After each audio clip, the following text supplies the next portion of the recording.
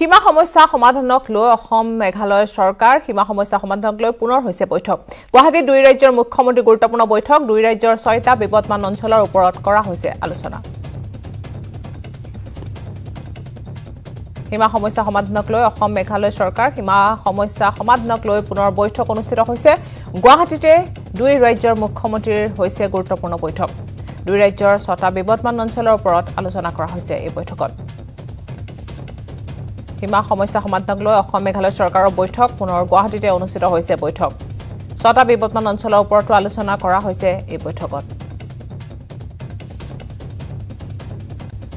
দুই ৰাজ্যৰ মুখ্যমন্ত্ৰীৰ গুৰুত্বপূৰ্ণ বৈঠক অনুষ্ঠিত হৈছে গুৱাহাটীত অনুষ্ঠিত হৈছে এই গুৰুত্বপূৰ্ণ বৈঠকৰ।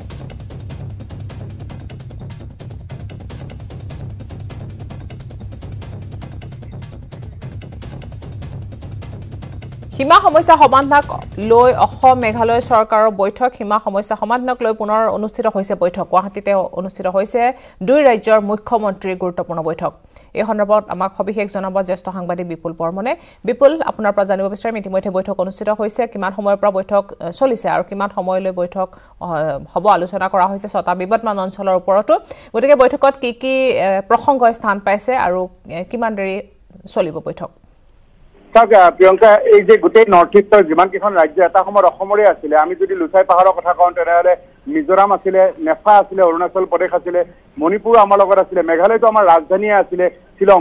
গতিকে ঠিক তেনেকে গোটেইখিনি যিহেতু অসমৰ আছিলে পিছত ভাগ ভাগ হৈ সুকীয়া সুকীয়াকৈ সৰু সৰু ৰাজ্যৰ মৰ্যাদা লাভ কৰিছিলে কিন্তু তেতিয়াও এই সীমা সমস্যাবোৰ তেতিয়াই সমাধান হোৱা নাছিলে বাবে এতিয়াও ইয়াকে লৈ সমস্যাবোৰ দৃঢ় হৈ গৈ আছে। কিন্তু শেহতীয়াভাৱে অসমৰ মুখ্যমন্ত্ৰী ডক্টৰ হিমন্ত বিশ্ব শৰ্মাৰ তৎপৰতাত যেতিয়া প্ৰথমতে শপত গ্ৰহণ কৰিছিল তাৰপিছত লাইলাপুৰত মিজোৰামে অসমৰ কেইবাজনো সেনাক আমাৰ অসম পুলিচক নিহত কৰিছিলে। কিন্তু তাৰপিছতে সীমা সমস্যা সমাধানৰ কাৰণে তৎপৰতা দেখুৱাইছিলে আৰু শেহতীয়াভাৱে আমি দেখিছিলো যে অসমৰ মুখ্যমন্ত্ৰীয়ে মেঘালয় মুখ্যমন্ত্ৰীৰ লগত লাংটিলৈকেও গৈছিলে।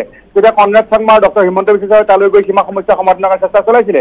আৰু গোটেই দুয়োখন ৰাজ্যৰ যিমানবোৰ ঠাইত এই সমস্যাটো আছে এই সমস্যাবিলাক এটা এটাকৈ সমাধানৰ চেষ্টা চলাইছিলে। গতিকে এতিয়া আজি ছটা স্থানৰ নতুনকৈ এই- এইকেইটা যিকেইটা স্থান আছে এই সমাধানৰ কাৰণে আজি বৈঠক চাৰি বজাৰ পৰা আহ্বান কৰিছিলে। প্ৰথমতে আমি শুনিছিলো যে মেঘালয় মুখ্যমন্ত্ৰী কনৰাড চাংমাৰ শিবিৰৰ ফালৰ পৰা যে কন্যাধাৰত সভাখন অনুষ্ঠিত হ'ব কিন্তু নহয় জনতা ভৱনত এই সভা অনুষ্ঠিত হ'ব আৰু দহ মিনিট পিছত ইতিমধ্যে অসমৰ মুখ্যমন্ত্ৰী ডক্টৰ হিমন্ত বিশ্ব শৰ্মা তেখেত আহি উপস্থিত হৈছে কিছু সময়ৰ পিছতে কনৰাড চাংমা আহি উপস্থিত হ'ব।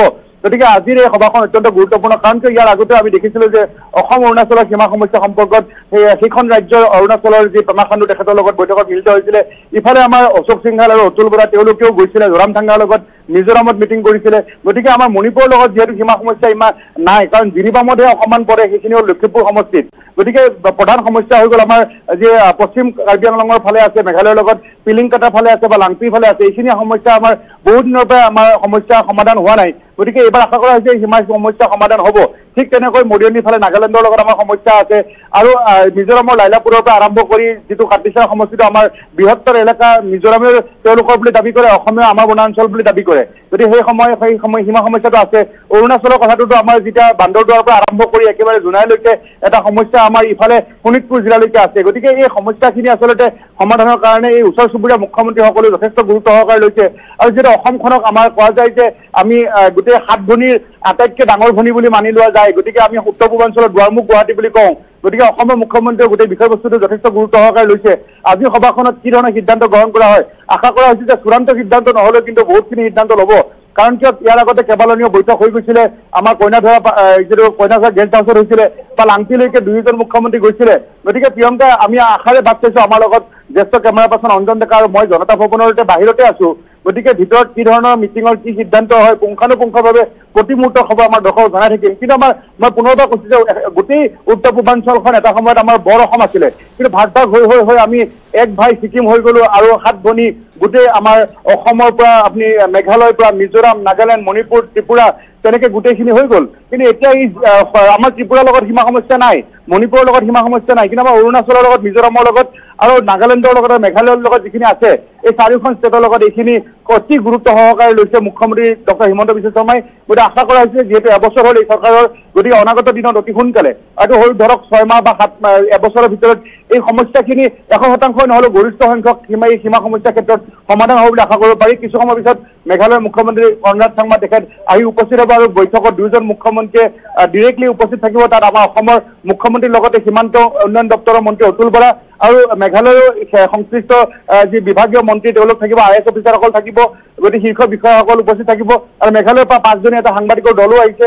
আমাৰ স্থানীয় নিশ্চয়কৈ। বিপুল বৰ্মন আপুনি আছে তাতে থাকিব আপোনাৰ সৈতে পৰৱৰ্তী আমি বাতৰিত যোগাযোগ কৰিম আৰু কিছু সময় পিছতে উপস্থিত হ'ব মেঘালয়ৰ মুখ্যমন্ত্ৰী আৰু কিছু সময় অপেক্ষা কৰিব লাগিব আৰু তাৰপিছতে দুই ৰাজ্যৰ মুখ্যমন্ত্ৰীৰ বৈঠক অনুষ্ঠিত হ'ব।